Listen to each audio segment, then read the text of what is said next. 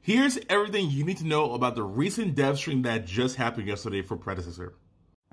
Not only will there be a battle pass, but there will also be a new winter theme map coming to the game. The battle pass will have 30 levels and there will be a free version and a paid version. For rank mode, there will be a second ban, so a total of four characters will be banned for ranked. For all of the NA West players, they are looking to possibly, hopefully, merge NA East and NA West into one server, NA Central, so that we can all play together and all have the same or disadvantage, I guess you could say, for playing together. You know, um, this definitely will help a lot of West players get games and not play the same people over and over again. I'm talking about you, Revenants. We know you've been, you know, uh, uh, hyping this up. Well, not hyping this up. You've been talking about this for a while, and we feel your frustration. And hopefully, probably they're gonna look into it, and they're hopefully probably gonna actually make a central server so that we can all play together and have a fair chance at, at each other.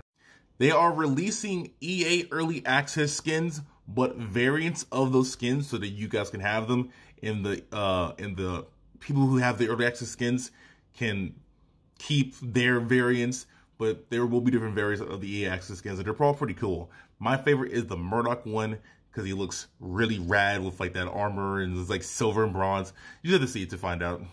At 22 minutes or 21 minutes, I forget, um, river camps will be upgraded. They're bigger, stronger, better. And actually, you can, uh, if you take someone down while they have a uh, a buff, you actually steal the buff. So if, if um, if, let's say if you're mid lane, right, and the Belica took the attack speed buff, if you kill Belica, you get the attack speed buff. Now, they haven't said whether or not if you get their timer or if you just get it fully.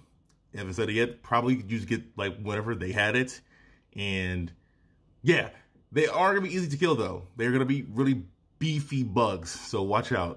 They also adjusted the projectiles. I didn't think it was a problem, but I guess it is. So, you know, cool.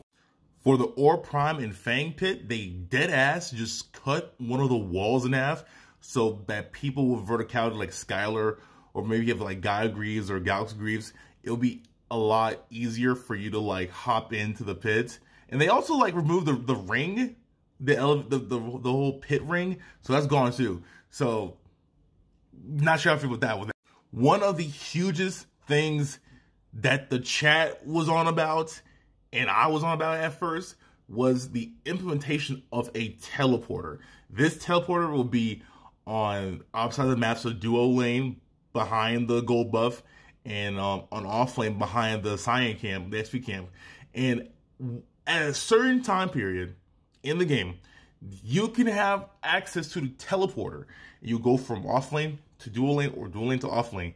But the thing about that is it's a visual, you can hear it and you can see the teleporter work. So you can't be like surprised too much by any enemy like ganking the duo lane. You're you will see it coming at a point. I think this is great for uh for off lanes to come over to Fangtooth and like help with that. But I we I want to see the action first before I give a first hand full like yes or no about it pretty much. Hey, for all my Brawl Mode fans, they are letting you guys pick five of any hero. There's no restrictions. So if you guys want to, five Iggy and Scorches versus five Iggy and Scorches, it could happen. At this point, just let us have custom brawl and have a good ass time in that.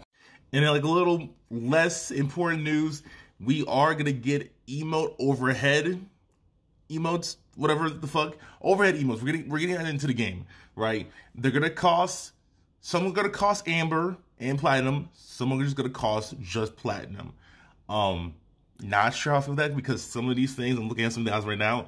Um, a kill steal common wraith emote overhead is like 3000 amber and 250 platinum.